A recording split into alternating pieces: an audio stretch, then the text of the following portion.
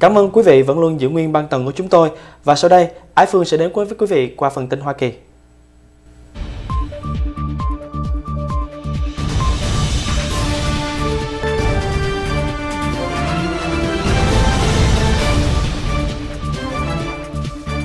Thẩm phán tối cao Pháp viện Anthony Kennedy tuyên bố về hưu.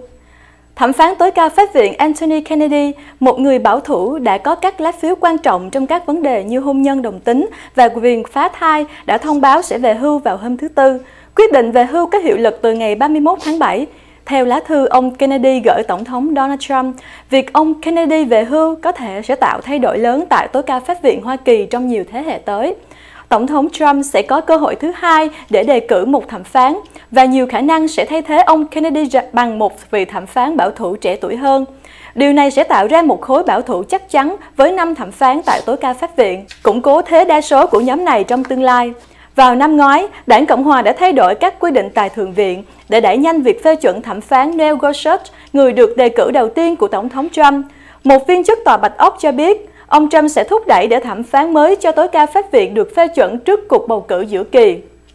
Ông Kennedy, 81 tuổi, kiểm soát kết quả của nhiều vụ kiện quan trọng trong lịch sử do ông thường có lá phiếu dao động giữa hai phe tự do và bảo thủ tại tòa. Được bổ nhiệm bởi Tổng thống Ronald Reagan vào năm 1988, quyết định nổi tiếng nhất của ông Kennedy có lẽ là vào năm 2015, khi ông bỏ phiếu cùng bốn thẩm phán có lập trường tự do công nhận hôn nhân đồng tính. Tuy nhiên, ông Kennedy cũng đứng về phía những người đồng nghiệp bảo thủ trong các vấn đề như ngân quỹ tranh cử, kiểm soát súng và quyền bỏ phiếu. Thượng đỉnh Trump-Putin sẽ diễn ra ngày 16 tháng 7 tại Phần Lan. Sáng sớm nay, Nhà Trắng và Điện Kremlin cùng lúc đưa tin Tổng thống Mỹ Donald Trump và người đồng cấp Nga Vladimir Putin sẽ gặp nhau ngày 16 tháng 7 tại thủ đô Helsinki của Phần Lan sau nhiều đồn đoán về địa điểm diễn ra cuộc gặp quan trọng này. Như vậy, Cuộc gặp giữa hai nhà lãnh đạo sẽ diễn ra ngay sau khi ông Trump có chuyến công du châu Âu để dự hội nghị thượng đỉnh các thành viên Tổ chức Hiệp ước Bắc Đại Tây Dương NATO vào ngày 11 và 12 tháng 7 tại thủ đô Brussels của Bỉ. Trong khi đó, cuộc điều tra của Cục Điều tra Liên bang Mỹ FBI nhắm vào cáo buộc Nga can thiệp vào năm 2016 được dự báo cũng sẽ tác động không nhỏ đến không khí cuộc họp chỉ vài giờ trước khi có công bố chính thức về địa điểm gặp gỡ với ông Putin, Tổng thống Trump còn lên mạng xã hội Twitter công kích cuộc điều tra của FBI là mờ ám. Tại sao mối liên hệ giữa bà Hillary và Nga không phải là đối tượng bị điều tra? Quá nhiều câu hỏi, quá nhiều sự thối nát. Ông Trump đã viết trên Twitter như vậy. Cuộc gặp tại Phần Lan sẽ đánh dấu lần gặp nhau thứ ba của hai vị nguyên thủ đầy cá tính. Hai nhà lãnh đạo đã có cuộc trò chuyện bên lề hội nghị G20 ở Đức vào tháng 7 năm 2017 và gặp nhau chớp nhoáng khi cùng ở Việt Nam vào tháng 11 năm 2017 để dự hội nghị cấp cao APEC. Từ khi lên nắm quyền vào đầu năm 2017, Tổng thống Trump được đánh giá tích cực trong việc nỗ lực cải thiện quan hệ với Nga và xoa dịu căng thẳng giữa Nga và phương Tây. Hồi đầu tháng 6, ông Trump đã kêu gọi kết nạp Nga trở lại khối các quốc gia G7 sau khi nước này bị khai trừ vì hành động sắp nhập Crimea vào Nga năm 2014. Kính thưa quý vị, dân biểu Lão Thành bị đánh bại trong cuộc bầu cử sơ bộ đảng Dân Chủ. Hôm thứ Ba ngày 26 tháng 6, sau khi cử tri tại 7 tiểu bang Hoa Kỳ bầu chọn các ứng cử viên trong đảng ra dự tranh trong cuộc bầu cử giữa kỳ vào tháng 11 năm nay, mà kết quả sẽ quyết định đảng Tàu sẽ chiếm được quyền kiểm soát quốc hội, thì cả cánh tả của đảng Dân Chủ và Tổng thống Donald Trump của đảng Cộng Hòa đều tuyên bố thắng lợi lớn, Hãng tin Reuters cho biết, dân biểu Mỹ Joseph Curley, một thành viên cao cấp của đảng Dân Chủ, được xem là một trong những người có triển vọng trở thành lãnh đạo tương lai của đảng Dân Chủ ở Hạ viện, đã thất bại trong nỗ lực vận động để duy trì chiếc ghế của ông. Thất bại bất ngờ này đã gây ra kinh ngạc và nêu bật những xung đột về ý thức hệ sẽ là yếu tố định đoạt trong các cuộc bầu cử giữa kỳ năm nay. Trong một đơn vị bầu cử được cho là an toàn trong tay đảng Dân Chủ ở thành phố New York, cô Alexandria Ocasio-Cortez 28 tuổi, lần đầu tiên ra đứng cử, đã đánh bại ông Crowley, dân biểu đương nhiệm, đã 10 lần đắc cử và là nhân vật đứng hàng tư trong danh sách các lãnh đạo đảng Dân Chủ tại Hạ viện. Các nhà phân tích chính trị xem chiến thắng của cô Ocasio-Cortez hôm qua là kết quả bất ngờ lớn nhất kể từ khi một lãnh đạo cốt cán ở đảng Cộng Hòa, Eric Carter, thất cử vào năm 2014 trước đối thủ là một giáo sư khuynh hữu ít người biết đến. Ông Dave Brett, người được nhóm Tea Party hậu thuẫn, cử tri ở các bang Colorado, Maryland, Mississippi, New York, Oklahoma, South Carolina và Utah đã chọn các ứng cử viên cho cuộc bầu cử giữa kỳ ngày 6 tháng 11. Cuộc bầu cử này sẽ quyết định liệu đảng Cộng Hòa có duy trì được quyền kiểm soát tại lưỡng viện Quốc hội Hoa Kỳ hay không. Đảng Dân Chủ cần chiếm thêm 23 trong số 435 ghế để nắm quyền kiểm soát Hạ viện. Nếu thành công, phe Dân Chủ có thể cản trở một số chương trình nghị sự của ông Trump và mở ra những cơ hội mới để điều tra chính quyền Trump. Họ sẽ phải chiếm thêm hai ghế phụ trội để nắm quyền tại Thượng viện. Lệnh di tản bắt buộc vẫn còn hiệu lực tại một số khu vực cháy rừng ở miền Bắc California.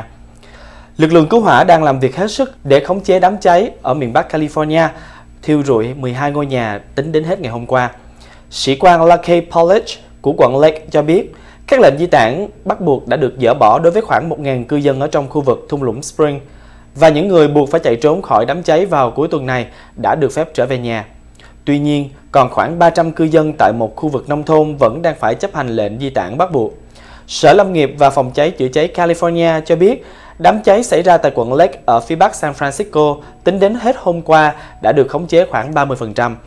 Được biết, đám cháy đã di chuyển qua những khu vực khô hạn và thiêu hủy 13.700 mẫu Anh tính tới thời điểm hiện tại.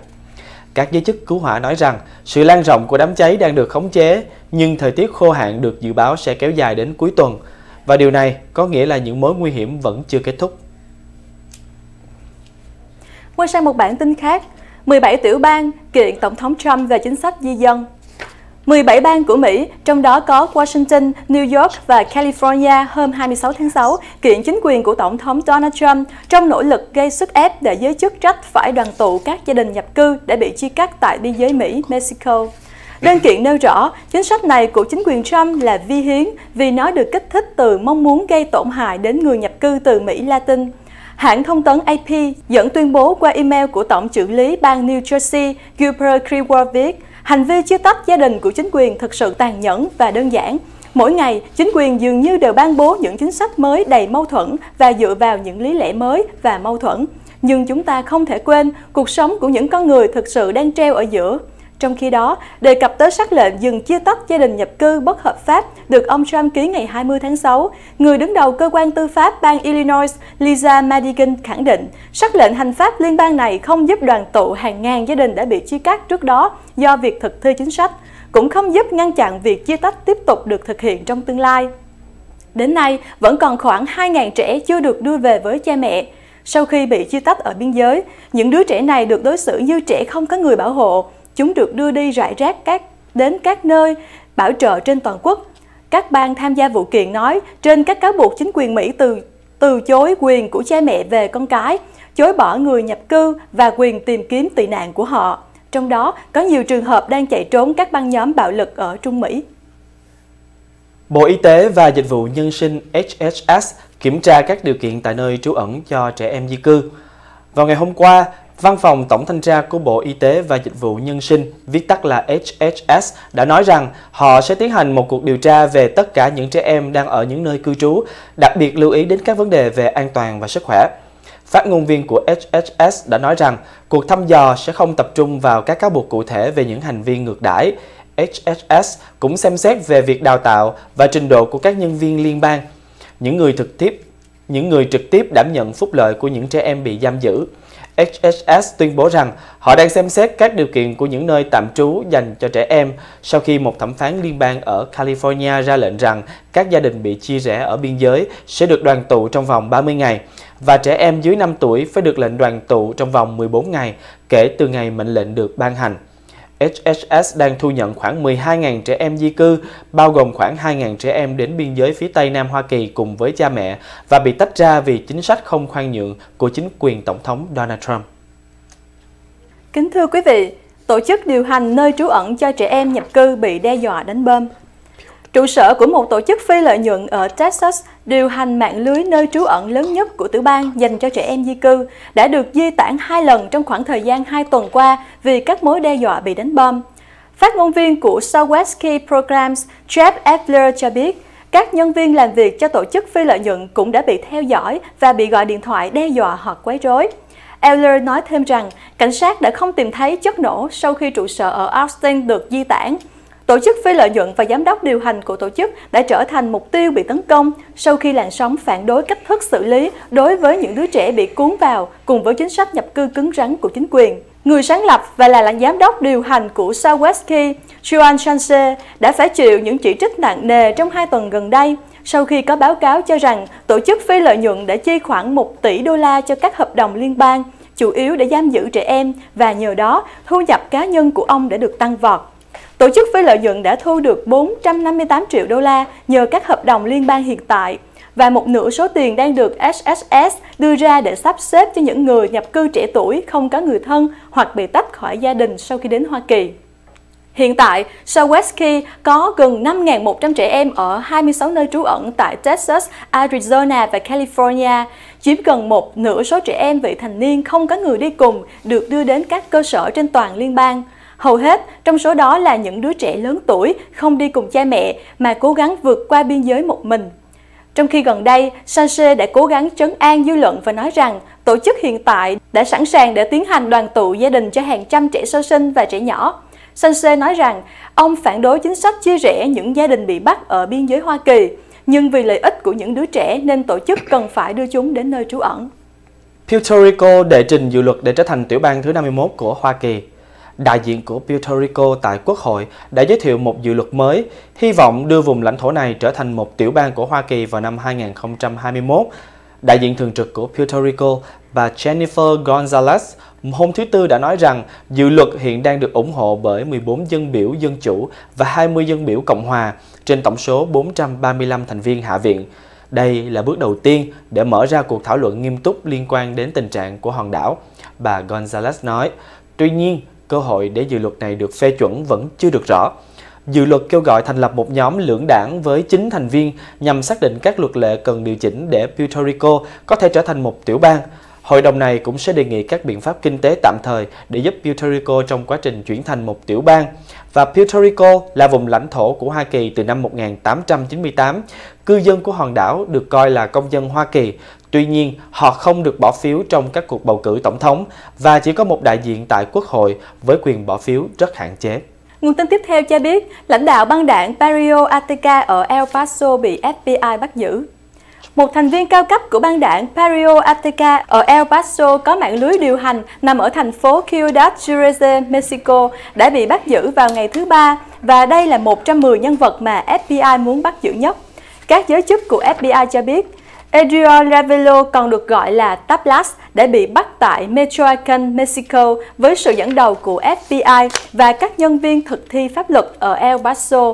Ravelo muốn được tham gia vào việc sát hại Leslie Ann Enrique Carton là nhân viên của lãnh sự quán Hoa Kỳ và chồng của bà là Arthur Rides, một nhân viên văn phòng cảnh sát quận El Paso. Ravelo còn tham gia vào vụ ám sát Roger Alberto Sakido Kineseros, là chồng của một nhân viên lãnh sự quán của Hoa Kỳ và các nạn nhân đã bị bắn hạ tại Juarez vào ngày 13 tháng 3 năm 2010. FBI cho biết Ravelo giữ thứ hạng Capo là thứ hạng cao nhất của băng đảng Barrio Ataca và được cho là người trực tiếp đưa ra các mệnh lệnh giết người cho các thành viên của băng đảng.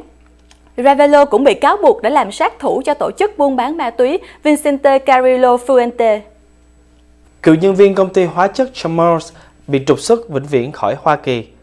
Một cựu nhân viên của một công ty hóa chất đã trục xuất và bị cấm vĩnh viễn việc quay trở lại Hoa Kỳ sau khi nhận tội âm mưu đánh cắp bí mật thương mại. Báo cáo vụ việc cho biết, cựu nhân viên của công ty Chamos, Cherry Ching Dong Su, 48 tuổi, đã bị kết án 10 tháng tù giam vào ngày hôm qua tại Tòa án Liên bang Delaware,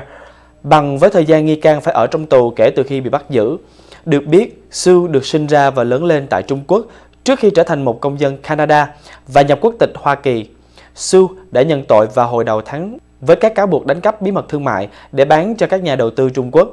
Các công tố viên cho biết các tài liệu bí mật bị Su đánh cắp có liên quan đến các loại hóa chất dược sử dụng để khai thác các kim loại quý như vàng. Su đã bị trục xuất sang Canada vào ngày hôm qua và bị cấm quay trở lại Hoa Kỳ vĩnh viễn. Kính thưa quý vị, người phụ nữ bị cáo buộc chạy trốn và tấn công cảnh sát một người phụ nữ bị bắt giữ ở California sau khi bị cảnh sát truy đuổi và sau đó tấn công cảnh sát đã được ghi hình lại bởi camera giám sát của cảnh sát. Sở Cảnh sát Palo Alto cho biết trong một thông cáo báo chí, Tessia Payton, 34 tuổi, cư dân của Taunton, đã bị bắt vào sáng sớm hôm qua với nhiều cáo buộc. Payton bị chặn lại ngay trước 1 giờ 30 phút sáng khi các sĩ quan cảnh sát đang thực hiện kiểm tra đăng ký thường lệ.